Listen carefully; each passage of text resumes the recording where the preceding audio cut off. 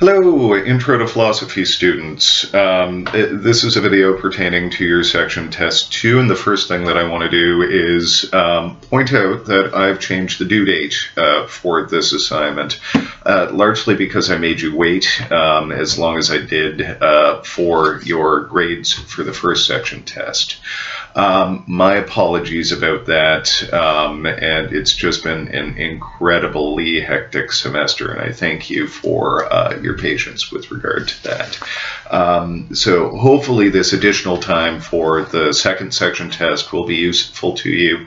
Um, this test has to do with Aristotle's Nicomachean Ethics and Hobbes' Leviathan. Um, so uh, it, you've been through one of these section tests. The due date for it is Friday, March 17th uh, by 12. Um, initially, it was to come in on Monday, uh, the 13th, so this gives you well over a week with this assignment. Um, so you've been through one of these, you know, about the boilerplate here. Um, section tests, I define them. Um, so it, you, it, everything I post in Moodle and everything I say in class is fair game, as well as everything I told you to read um, for these assignments. But nonetheless, hopefully the questions will be um, straightforward. It's going to be five questions, um, what, two on Aristotle and uh, three pertaining to uh, Thomas Hobbes. Um, in uh, do do do do do do do do, yep, that's what I decided to do. So um, it, that's what we're looking at. Um, so uh, there's a missed assignment policy. I say no late assignments uh, are to be accepted so that I get to come off as tough, but it, then basically I say you've got to talk to me if you want an extension. Um, though extensions, given the extension I already gave you, should be very minimal. You should be in over a week able to find the time to engage with this assignment.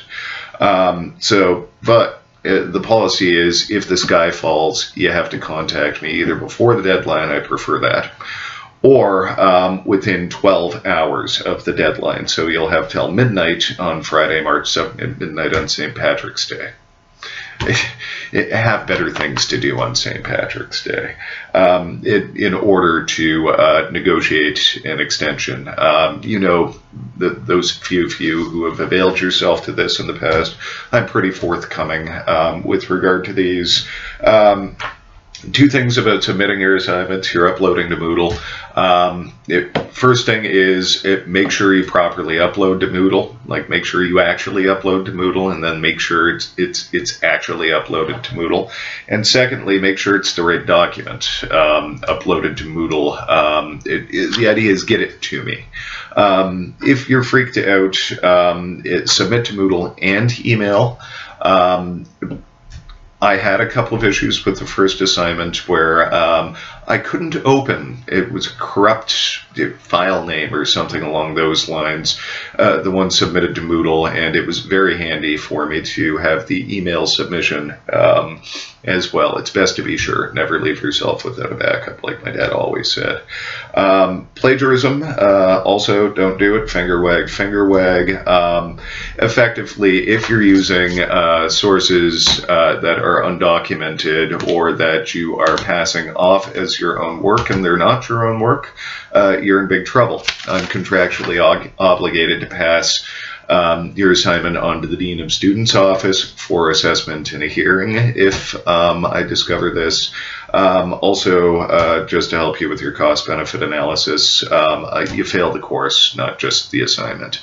Um, so uh, don't do it. We won't have any problems. You should have plenty floating around in your own head about this material. Um, if you are using other sources, tell me you're using other sources. Um, use those other sources only as evidence for your claims. If you're making a quote, then you have to unpack the quote, etc., etc., etc., and various other things I've already said. So, um, readings Aristotle, Nicomachean Ethics, books 1, 2, and section 1 of 3. Um, Hobbes' Leviathan, though oddly I didn't ask you a question about section 1 of 3. I thought I would, didn't.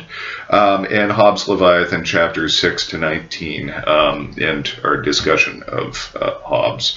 Uh, video material, School of Life, Philosophy, Aristotle, School of Life, Political Theory, Hobbes, and I added that podcast lecture um, for you as well. I'm not sure if you find it handy or not, but nonetheless, there it is short answer questions, um, a, paragraph of writing.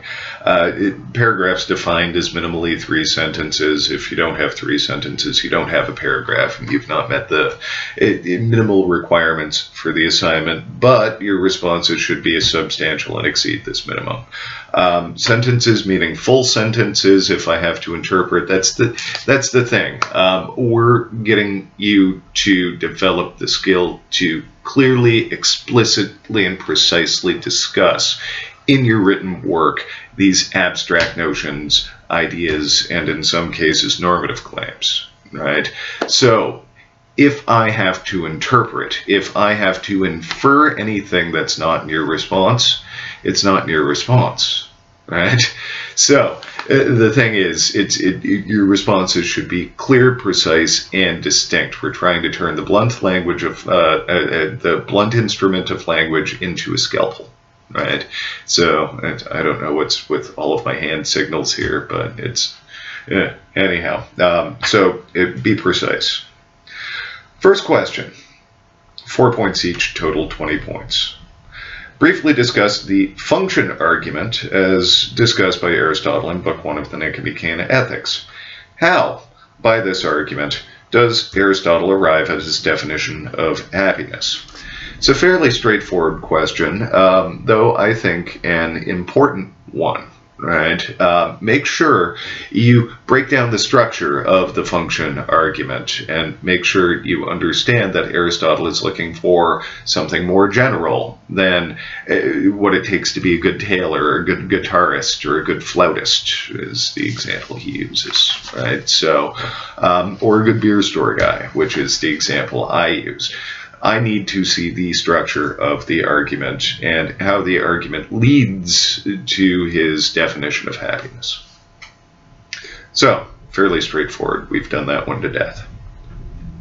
Two, in Book Two of the Nicomachean Ethics, Aristotle defines virtue of character and discusses how it's developed.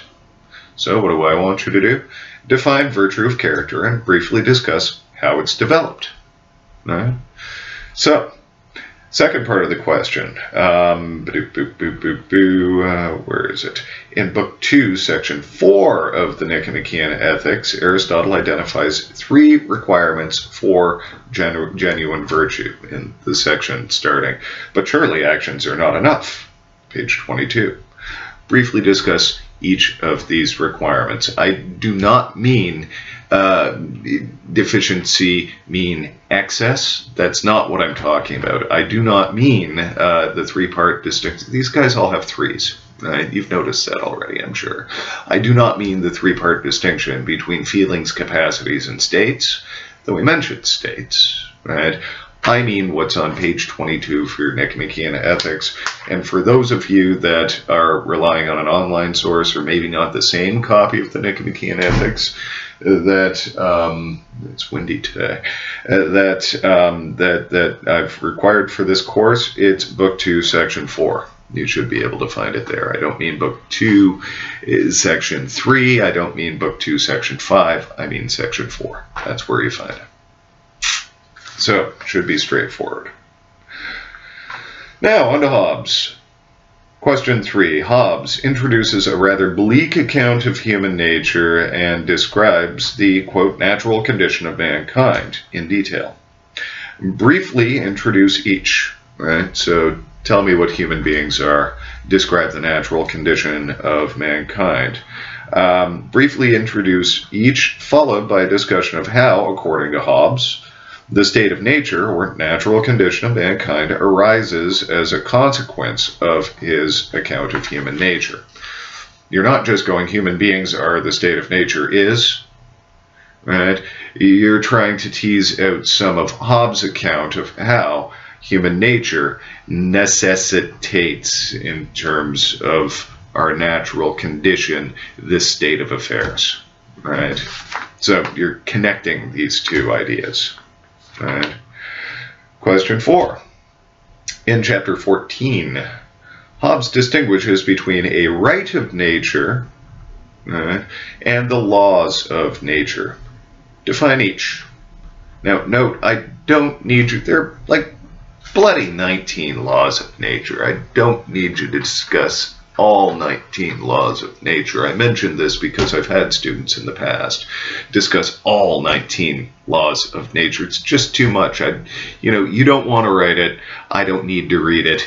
Just so long as I understand that you understand eh, that that you understand what a law of nature is, then we are good right? So um, it, basically, the idea is it's probably a good idea to introduce the first law of nature.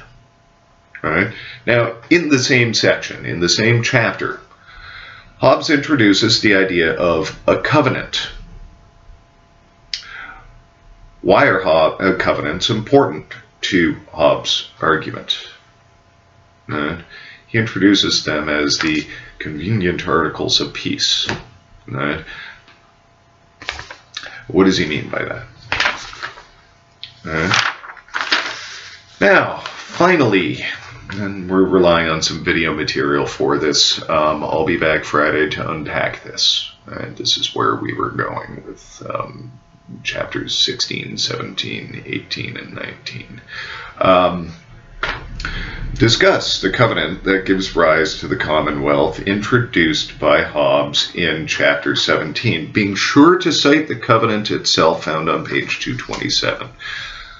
I would start your response by quoting it. It's right on page 227 of the Leviathan and reads, and I'm going to illustrate why I have a new copy of the book because this one is like literally falling apart. But um, page 227 the covenant, and I can do this from memory. It goes, I authorize and give up my right. Yeah, here it is. I authorize and give up my right of governing myself to this man or to this assembly of men on this condition, that thou give up thy right to him and authorize all his actions in like manner.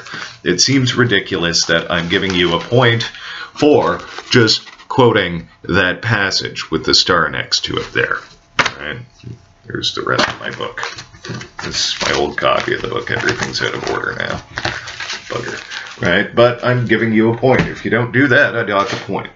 Right? So, quote, quote uh, that actual agreement, right, from page 227, right? Your task is to start by quoting it and then discussing, uh, discuss this covenant that gives rise to the Commonwealth. Followed by um, how this covenant, which establishes sovereign power, breaks down the distinction between public and private good in the person of the sovereign. In the person of the sovereign. Note, this isn't the too bad we're not bugs argument that we're relying upon. To a certain extent, what I'm asking you to do is take what's said in chapter 17 and follow it through to his argument in chapter 19, right? where he discusses the inevitability when you have to share power of corruption.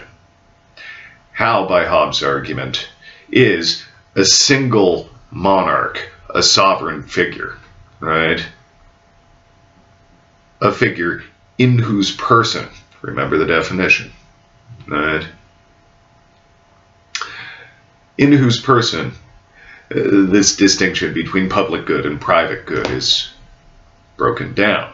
Right now, on the first day that I was introducing Hobbes to you, to, to a certain extent, I already addressed this. Right, in terms of in the person of the sovereign for the sovereign.